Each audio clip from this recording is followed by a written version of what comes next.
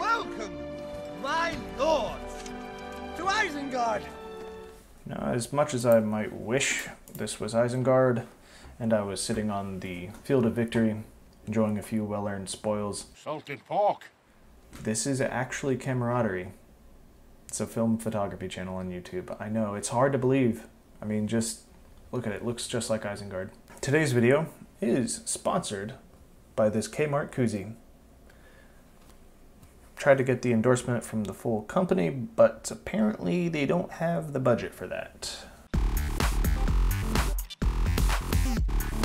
I'm taking a break today from posting the general schlock that I normally post on this channel, you know, camera reviews, photo walks, stuff like that, in order to just talk about basic film camera operation. If you've seen any of the camera reviews that I've done before, you know that I like to go into detail about each individual knob and all the different settings and how to adjust everything on the camera and what the film chamber looks like, just whatever I happen to be reviewing that day.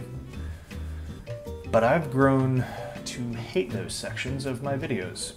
From the shooting of them to the editing to especially watching them, they just drag to me. So, in an effort to save us both some time in future videos, I figured it would be a good idea just to kind of give a rundown of what is common across pretty much every camera out there. My hope is that by the end of this video, you have a solid enough understanding to be able to confidently walk up to like 95% of the cameras out there, pick it up, and start shooting.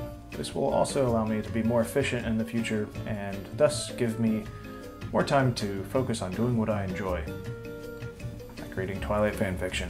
Now, obviously, if there is something about whatever camera that I happen to review in the future that's really unique and different, um, if it's laid out differently or if you load the film in a different way, then I'll address that.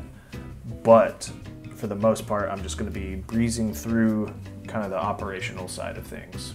There are, I would say, three main body types of camera.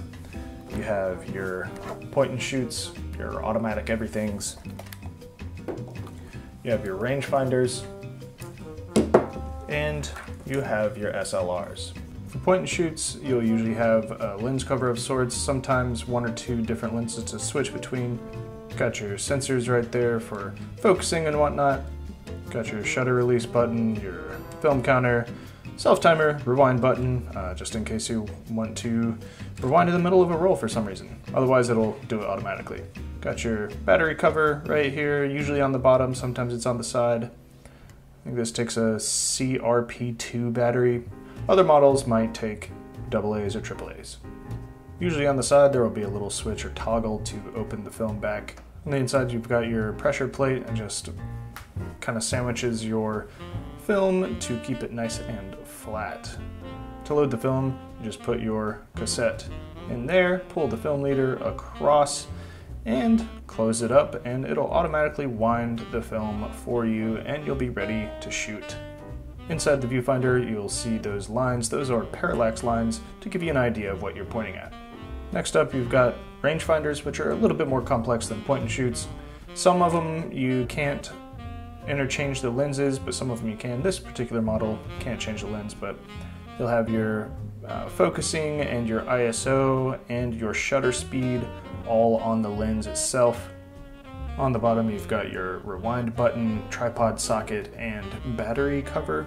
A lot of rangefinder and SLRs will use uh, what are called coin batteries. They're just little tiny small batteries that kind of look like coins and you can use a coin to open the cover. Up on top you've got a film advance lever, shutter button, and your rewind crank. The rewind crank is also what allows you to open the back of the camera. And from there, pretty standard stuff, film chamber, take up spool, and pressure plate.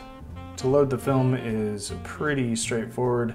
Just put the film cassette in the film chamber, lock it down with the rewind crank, pull the film leader over to the take up spool, insert it, and advance the film.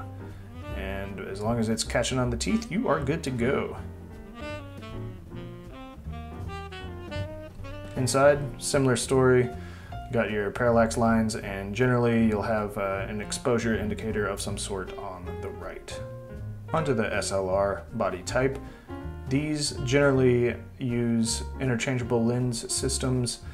You'll control your aperture and your focus on the lens itself. And to swap out your lenses, you just push down either a button or a lever and turn and just reverse the process to put your lens back on. On the bottom you'll have your battery cover, tripod socket, and rewind button.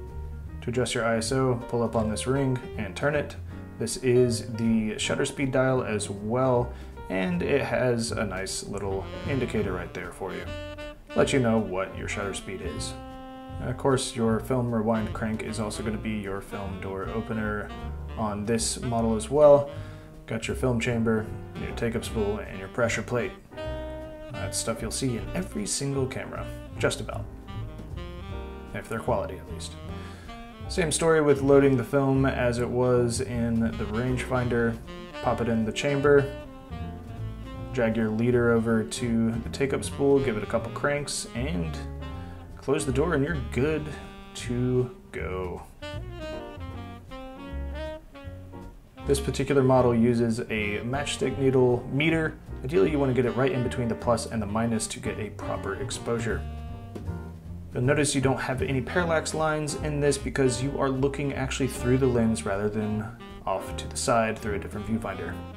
All right, folks, that's it, man. That's that's how you operate 95% of the cameras in the world, film cameras.